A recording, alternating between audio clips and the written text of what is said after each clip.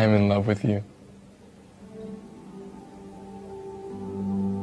You heard me. I guess. I am in love with you.